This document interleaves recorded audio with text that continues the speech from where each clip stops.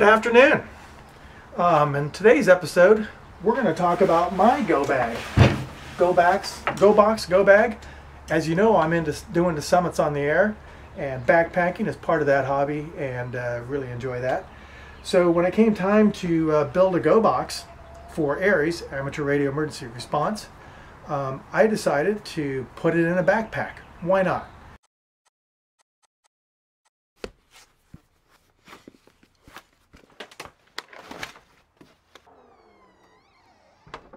CQ, CQ, CQ. This is November 1, Charlie Lima Charlie. Summits on the air. I built a WinLink portable station uh, that's completely self-contained in this backpack. So, as part of the mission before uh, for ARES, Amateur Radio Emergency Response, we support the San Diego County uh, hospitals and other agencies during an emergency. Um, most likely, if there's an event, especially a seismic event, there won't be any communications. You can't use your cell phone, and even the most minor um, event, for instance, a small power outage where everything is still working, um, the cell phones uh, towers become completely saturated and unusable. So we would deploy to hospitals, emergency operations center, um, the blood bank has its own crew, um, and wherever we're needed to set up communications to not only handle traffic between uh, hospitals and other agencies and hospitals to hospitals. So one of the most effective ways uh, to do that is using WinLink. WinLink in its most basic form is just email via radio. Um, here's a picture I'll put up here. And um, it's using your radio to, instead of the internet, to move your email traffic uh, to some other station. There, there's a three different things that could happen. A, uh, the most, hopefully, the best one is you go from your radio, uh, your station, to a gateway station that has internet access, and then it's put on the internet. No problem, goes into the WinLink servers and it's routed to any WinLink station or any other email box for that matter. Uh, pretty simple, straightforward, you get email on your phone. If that gateway doesn't have internet access, um, if it's been told where there is internet access, it'll actually forward your email to another station uh, that has internet access. It may take a couple of hops, all via radio, before it gets onto the internet. Lastly, we can route email traffic directly to another station. So station to station, send a WinLink message, which is nothing more than email.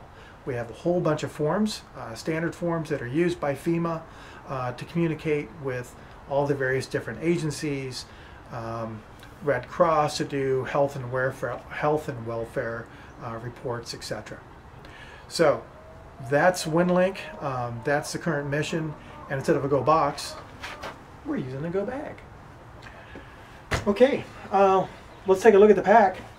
Um, this is from 511. It's a really well made backpack. It's a tactical 24.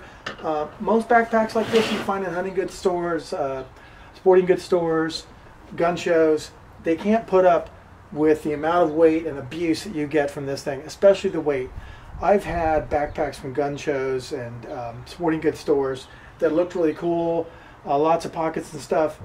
They get torn apart when you start putting any kind of load in them outside of like a jacket and some snacks. So um, this is a really well made backpack. Um, on the front strap, uh, very well padded. Uh, I got a place for an HT here. Um, I've got a notepad uh, strapped on here. Uh, that's a Rite in the Rain backpack, uh, writing pad. And then coming around to the outside here, I got a couple of accessory pockets here. Uh, two pockets for an HT. Um, got my little um, um, you can use pretty much any cheap little thing here, but it's nice to have, so I can run a couple of HTs on here, no problem. And then uh, a couple other things here, a quick access uh, medical bag and a um, uh, multi tool, which is super handy. Um, and then I never want to be left without a hat. I don't want to grab this thing and not have a hat, especially being a bald guy. You're going to get fried in SoCal. and then you'll be you'll be uh, really needing to go to the hospital. All right, so um, let's take a look inside. I'm going to pull out all the major components of the WinLink station. So let's open up the main compartment here. We're going to start with a radio. This is a Yaesu um, FT817. Um, you'll probably notice this from a lot of Summits on the Air activations. Um, I don't have a whole lot of videos of it, but a lot of guys use these. I've used it. Um, it's a great shack in the box because it does HF and VHF. So this is currently set up for packet radio, so we'll put that over here. Um, then the next thing, the next major component is, uh, of course, laptop. So this is a very inexpensive laptop. It was a refurb with an SSD drive in it, just powerful enough to run WinLink. So it was a very economical way for me to set up a WinLink station. So we'll put that right here. Um, certainly you need an antenna for the radio. Um, this is a roll-up J-pole. It's extremely effective. These things are really, really awesome. Um, I can easily connect from here into a WinLink station in Tijuana. So I'm a good 60 miles away. Alright, so the next piece that you need to get from here to here is a uh, packet communicator. This is the packet communicator plus. It's the uh, TNC terminal node controller uh, from Kantronics that will bridge from here into here and into here. Um, so that is the other piece. When you think about um, really WinLink, which is um, just emails we uh, just uh, talked about, really these are the main components. If you do HF WinLink, you'll just have a different box and maybe a different radio. Um, there's several different ways to go about it. There are several different protocols that can be used. It all depends on what the other station and gateway systems are using. All right, so um, we need to, to hook all this stuff together and we need to power it. So let's talk about connecting it together first. Um, we'll need this to go from the radio um, to the TNC and then a USB cable to go from the laptop into the TNC. So now we have a complete link. We've brought all of these things together. Um, the next piece that we need, of course, we need lights. Uh, these are cute little lights that we can bolt on somewhere. Nothing ever happens during the day, right? No disaster happens during daylight hours. It always happens in the middle of the night. At least all the earthquakes I've been in. So, we'll do that. Um, let's get some power out. This is um, a box that was put together by Impulse Electronics here, here close, not too far from San Diego. Um, this is 20 amp hour Bioenno battery in here. I've also put a couple of accessories and the charger all fits in here just barely. So this is a neat little box, uh, watertight Pelican box here, Pelican-like. Um, here we have power poles, um, a voltage little output, and um, USB, so we can charge your phone, etc. Run other accessories. So we're going to put that in the back here. Um, of course, we're going to need to get from there to the radio. So we have batteries here and here, but not here. So we do need some kind of power to get uh, to run the little box there. And so we have a jumper that will go into a power distribution in it, which is nothing more than a bunch of power poles um, wired together. Uh, this particular one is the Powerwerx PDA. So um, we go from this into here, and then we can run, of course, multiple radios and other things out of here but primarily we start with this. Eventually we'll need um, power going into the radio, which has already been configured with power poles instead of the standard Yaesu plug. So this is kind of a neat little accessory that I added on there. Um, so this will get us power and I think I've got a little dongle there for a GPS so I can easily send uh, location information out from there. I have a um, mouse in here and then I have a charging unit for the um, my radio for my uh, uh, Anytone radios, which is going to be needed. Um, I'll eventually need power for the laptop. The laptop battery's only going to last for so long. Um, so we have a small inverter unit. It's really small. It's 300 watt uh, DC to AC power inverter and I've used this to power this. So we can go, uh, this will pretty much power the whole station. I'm not sure for how long, I haven't done a lot of measurements yet, I'm still working on that. but uh, I'll, I, can, I can be up for quite a while. And if I'm deployed at a hospital or something, I can at least uh, most very likely eventually get to um, their backup power uh, via some hopefully some extension cords. So um, that's how we get power. Um, what else do I have in here in the main compartment?